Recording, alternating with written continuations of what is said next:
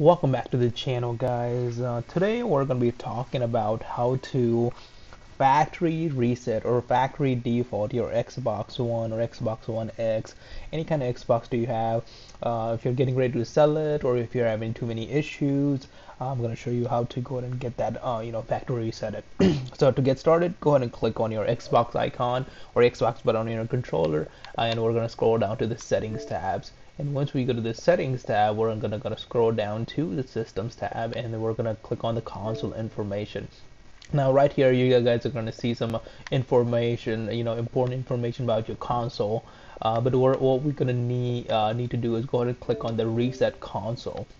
Now there's two options here. One is uh, reset and keep my uh, keep my games and my apps. Now if you do that what it's gonna do it's gonna remove all the extra data that you have on your like any kind of downloaded files or any, anything like that. So if you're having issues like I would try that option first because you know you don't have to download all your game and all the apps again. And it kind of does not re remove your profiles and things like that now you can you and before you even do that you guys can check out my other video where i show you how to you know clear your cache and and remove persistent storage. So the, the, link will be in the description as well as you you guys going to be able to see the top on the top right hand corner there should be a card that shows you how to do that.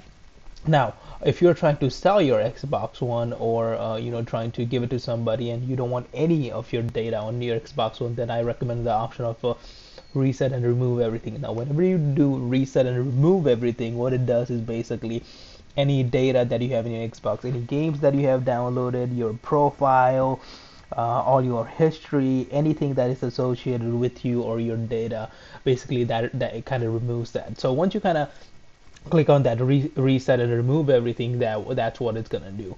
So uh, simple and straightforward. So if you're having issues, go ahead and try the reset and keep my my games and app settings. And um, if you literally want to just want to get rid of everything and you know trying to get it to the stage where you bought it, you know, whenever you bought the Xbox from Microsoft or you know whatever games, uh, you know GameStop or whatever.